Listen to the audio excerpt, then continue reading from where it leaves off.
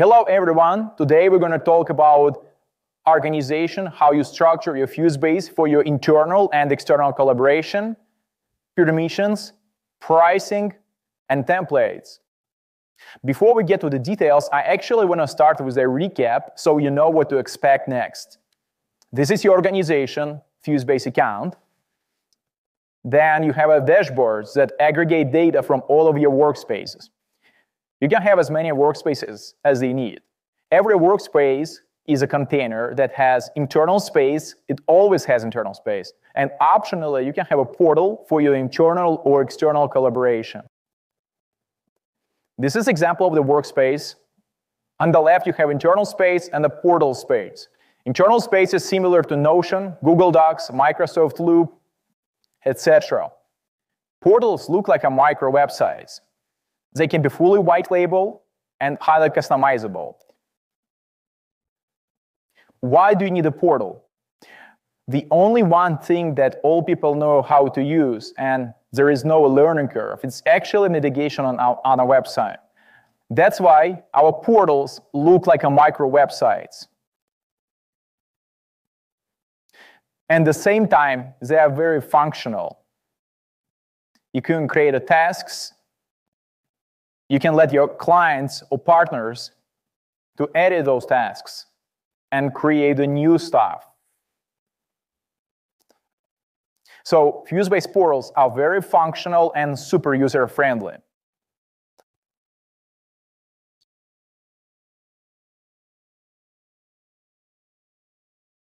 And what makes FuseBase unique is ability to create AI agents in one place and use them in your internal collaboration, external collaboration, and even outside FuseBase in your browser.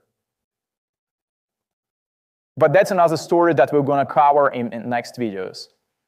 Your goal is to create a template portal or multiple template portals that you can reuse and instantly invite all of your clients. When you create a new portal, you can manually duplicate it. It takes less than a minute, or you can use our automation module to trigger automation, even from your CRM. There are two types of permissions, internal team members and external users. You have managers that have access to all of the workspaces. You have members that have access only to specific workspaces and internal space or internal and external. And also you have a clients, that's your external users which you can invite into individual portals or subfolders. Our pricing is very straightforward. We charge for internal team member or the portal. Whatever number is higher, we will charge only for, the, for that number. For example, in this example, we will charge you only for 20 portals. We don't charge you for client account. So you can have as many individual emails in your portal as you need. So it's a pretty flexible and you need to understand how it can be applied for your unique use case. On this webinar, we will cover the structure, how to invite clients and internal team members, the pricing, how we price you, and types of the accounts. Now, we have the workspaces. Think about workspaces as a container that contains your internal space and a portal. Some workspaces can have just internal space. When you create a workspace, by default, it always has internal space. Here's example. This is internal space. Here we go.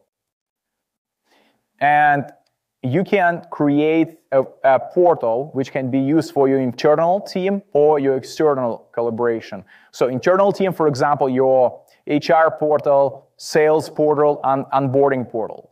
External portals usually created for deal rooms, client portals, partner portals, etc. So the difference is what kind of people you invite in, in those portals.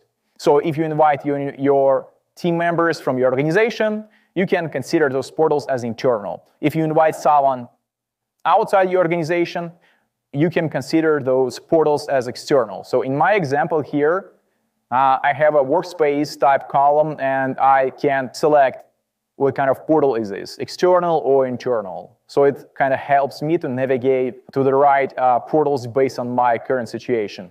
This is example of your dashboard. You can get there clicking on this home button and you have a different views. workspaces, portals, clients. Uh, we're going to have forms and more views. And you can create your columns if you click edit and you can create eight new fields. Or you can create your custom views. And this is example of one of the portals you, that you can create and can be used for your internal team or your external collaboration. You can invite your clients into every workspace and assign a portal per client or partner, or you can have one portal and invite them into subfolders with granular permissions. If you want to invite clients to the whole portal, you go to a dashboard, go to portals, and click invite button. If you want to invite your client to a specific folder, you go to the actual portal, click on those three buttons, I'm sorry, three dots, and you're going to click on the Manage Access. In this case, you can invite different clients into different folders, and they will not know about each other. And at the same time, you can have uh, folders that are available for everyone. And important remark, the home page, the main page, always available to everyone. So you can set granular permissions only to the folder level. When I click on Manage Access, I'm going to get to the list of all existing users that have access to this folder. And if I click invite, I have option to invite a new people, in my case, the role as a client, or select from existing members of my organization. And in a drop-down, you can change the roles, which I will explain later on. And when you invite clients to the whole workspace or portal, here's how it works. It's important to make sure you selected the right workspace. And every workspace has internal area. This is internal area. And that's the address of your portal. So if you want to invite a client to the portal, you need to select role client and then select the portal. As you see, when I change the role, it automatically switched to the portal. Now, what's the difference between the roles? We can disregard the guest role because it will be depreciated. So we have a manager, member, and a client. Managers have access to the all workspaces, and they can manage them. Members, that's also your internal team members and can have access to specific workspaces. So managers can set members and can set which workspaces they have access to. Clients, that's your external users, clients, partners, vendors, etc. And they have access only to the portal. So members and managers have access to the workspace and to the portal. And clients have access only to the portal. Let me recap again. Managers have access to all workspaces internal spaces, and the portals. Members, they can have access only to specific workspaces. In my case, there's only workspace three, and it has access to internal space and the portal. And finally, client, they have access only to the portal. So in my case, workspace one and workspace three, they have only portals and I invited that client into both of them. If needed, I can invite client only to one portal. Also, you will have a groups which you can group your members and invite them to different places. You go here on the left, then you get to the groups and you create a group. Let's talk about templates. You don't need to create a new portal every folder and copy all of the contents every time for a new client. Once you have a new template portal, or you can have a multiple of those portals, you will be able to deploy them fast, less than a minute. The better structure is to use one portal per client because our dashboards and some of the agents are built for that. You still can use a template folder and duplicate that, but this structure is more scalable and more beneficial.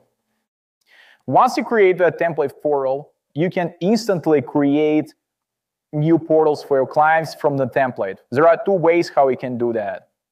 Number one is when you create a new portal, you have the option to duplicate current portal, which means you can select your template portal and it will be instantly created. If you want to create the empty portal, you can also do that. The second option is to go to our automation module, which is similar to Zapier. You can create a trigger, for example, to trigger a new portal deployment from the CRM. What's going to happen is our automation will create a new portal, will copy all the contents from the template portal, and will send invitation for your clients. So when inside your CRM you change the status, you can automatically deploy the full portal Um, and invite the client. These automations also work for the folders, which means you can create a folder, copy the contents of the template folder, and initiate invitation to one of your clients. But as I mentioned, using the way of one portal where one client is more beneficial because of the dashboards and some of the AI agents. Sometimes our clients ask, okay, if we will use a portal per client, how can we have the same content in the multiple portals? So we have a solution for that, and it's very easy. When you create a new folder inside portal, you can select linked folder. Then you select your template portal, and then you select one of those folders that you want to link. What's going to happen is that's going to act as single source of truth, which means whenever you put any content in the folder in that template portal, it will be instantly appear in all of the portals.